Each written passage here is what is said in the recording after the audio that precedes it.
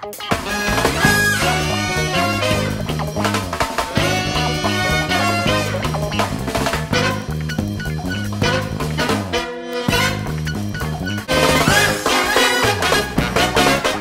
de hoje tem no Twitter Tambores com Guto de Faria. Oi, gente, eu sou o Neto. Eu sou a Rafaela. Eu sou o Marcos. Eu sou a Ana. E hoje nós vamos treinar os cavalos três tambores. Vamos. E esse é o meu cavalo, ele chama Round Dash. E o meu chama Winner Dog. E o meu é Duck Boy. E a gente tem um convidado especial. E é o Gustavo! Nosso primo! Então vamos lá. Já pode aparecer, Gu. Então, gente, agora a gente vai aquecer os cavalos. E a primeira coisa que tem que fazer é o trote levado. Que é porque o, o cavalo quarto milha, que a gente tem é muito. É um cavalo que trota muito. E aí o trote elevado é o conjunto sobe e desce. O cavalo faz quando ele trota. e a gente faz isso pra não apoiar a bunda. Eu vou dar o